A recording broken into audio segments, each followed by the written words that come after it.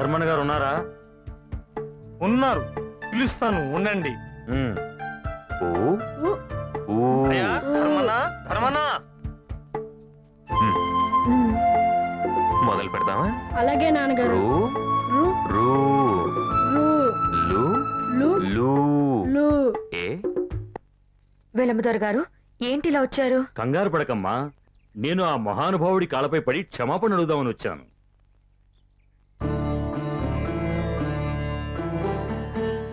నన్ను క్షమించండి ధర్మన్న గారు. నన్ను క్షమించండి. ఏంటిది వెంగళరావు? తప్పు లేదు ధర్మన్న గారు. ధర్మం కోసం నిలబడే మీలాంటి ధర్మాత్ముడికి ఎదురు మాట్లాడి నేను తప్పు చేశాను. మీ కాళ్ళు కడిగి ఆ నీడు నా నెత్తిన పోసుకున్నా తప్పు లేదు. తప్పులు అందరూ చేస్తుంటారు. నీ తప్పు నువ్వు తెలుసుకోగలిగావు. అంతే చాలు.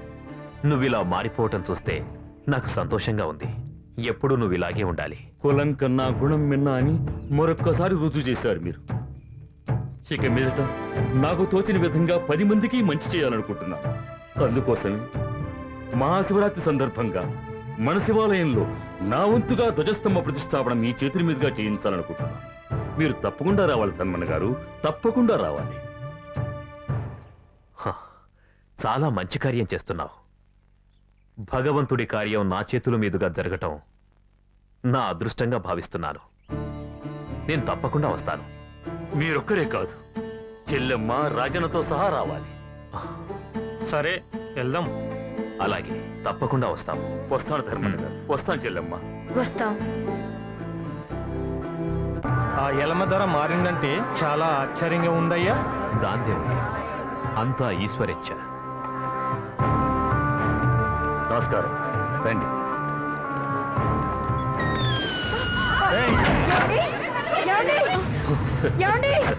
ఆశ్చర్యపోతున్నావా? అటు చూడు.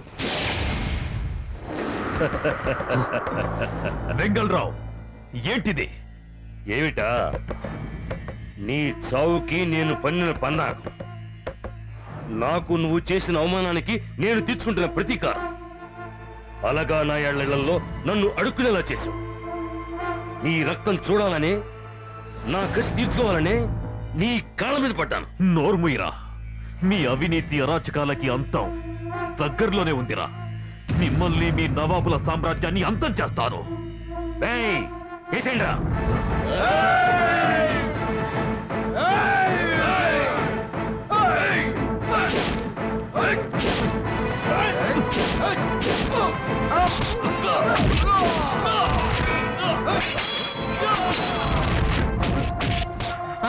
ఏమైంది నాకు ఏయ్, నువ్వెక్కడికి రా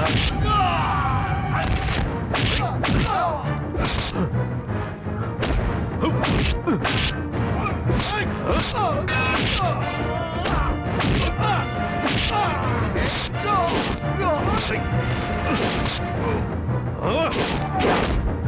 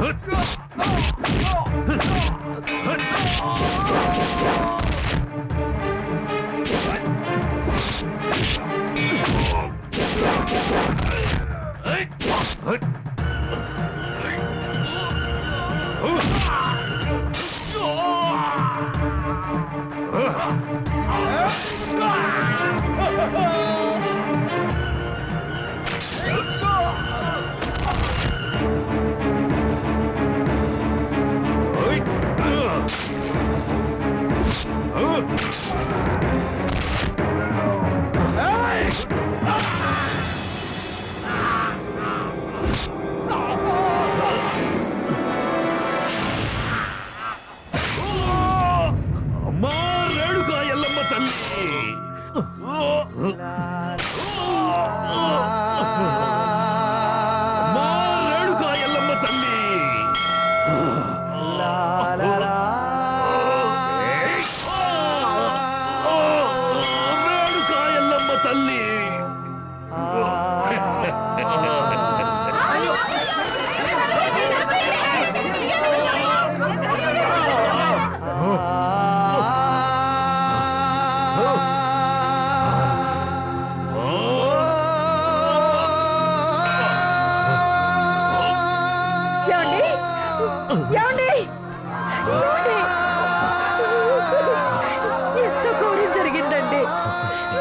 ఎల్లమ్మ సర్వాయమ్మా.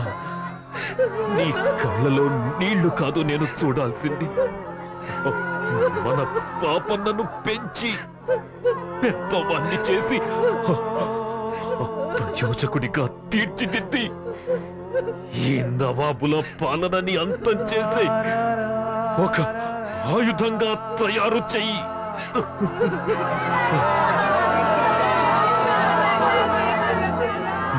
మన పాపన్న. శత్రువుల పాలిట బ్రహ్మాస్త్రం కావాలి. మన పాపన్న పేరు చెబితేనే శత్రువుల గుండెల్లో పిడిబాకులు దిగాలి. మన పాపన్నని అంతటి వాణ్ణి చెయ్యాలి. అలా చేస్తానని అలా చేస్తానని. నాకు మాటివ్వు మాటివ్వు సర్వాయమ్మ. మాటివ్వు. అలాగేనండి.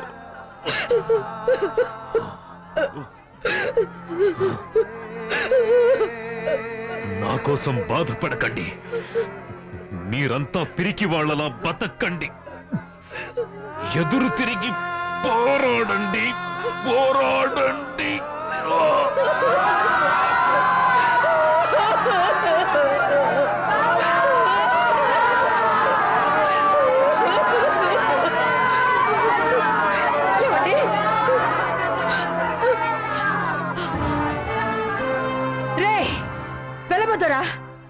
భర్తని నా నుంచి వేరు చేశావు. నిన్ను చంపే వరకు నా ఈ బొట్టు గాజులు తీయను. ఇదే నా ప్రతిజ్ఞ.